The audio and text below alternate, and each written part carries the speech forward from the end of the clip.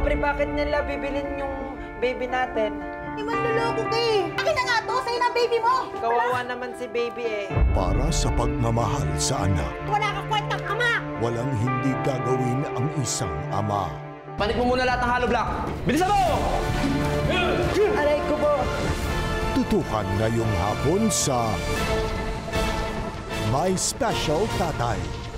Pagkatapos ng The Stepdaughters.